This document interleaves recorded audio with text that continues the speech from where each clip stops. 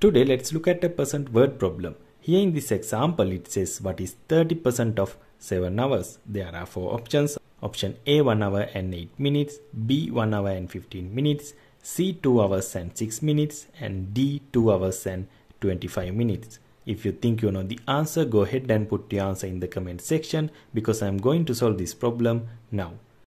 In order to solve any math word problem, you need to rewrite the word problem using only math symbols. So that's what I'm going to do right now. I'm going to rewrite this word problem using only math symbols. So I'm going to start from the left and go to the right. The first word of this word problem is what. So I'm going to rewrite this word using math symbol. This is what we are going to solve and since we don't know what this is yet, which we need to find out, we can call it anything we want and the common letter we use for something that we don't know is X.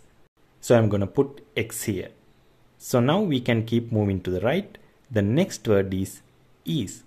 And if you look at the chart at the bottom right corner of the screen, the mathematical symbol for the word is is the equal sign. So instead of writing is, I'm going to write an equal sign.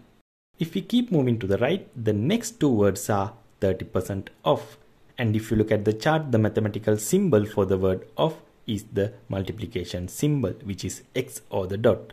So instead of writing 30% off I'm going to write 30% multiply. The last two words are 7 hours. Now if we look at the answers we can see all the answers are in hours and minutes. So it's good if we get our answer in minutes because then we can easily convert it to hours and minutes later. We know 1 hour equals to 60 minutes. So for 7 hours, we have to multiply this by 7. 60 times 7 is 420. So instead of 7 hours, I'm going to write 420. Now we have rewrote the word problem into a math equation.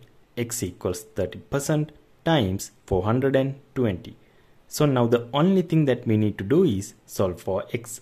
Alright, let's solve this equation. We know 30% can be written as 30 over 100 times 420. If you notice these two zeros cancel out, so 3 times 42 is 126 and we already know this is in minutes. Now we have to convert this into hours and minutes. We know 60 minutes is an hour. So 120 minutes is 2 hours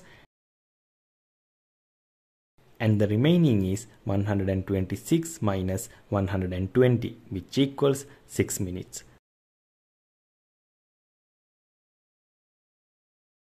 So we can see option C is the correct answer. I really hope you are finding my tutorials helpful. So until my next video, I will see you later.